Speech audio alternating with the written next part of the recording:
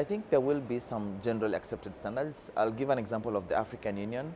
Uh, just this year, the African Union came up with standards together with the Internet Society, which are general standards on infrastructure guidelines, among others. So uh, that's something which um, I think could be something uh, which might be emulated in other parts of the world, whereby uh, cybersecurity professionals will be working with uh, governments and others to come up with acceptable standards, basic standards, not too detailed, but basic standards on how to handle issues. And I'll give the example also of the 13 principles on surveillance, which are principles established in 2014, three years ago, and they are um, they are called necessary and proportionality, proportionality principles.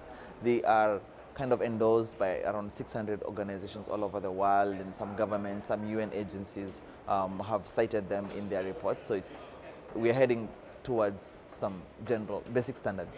Yes.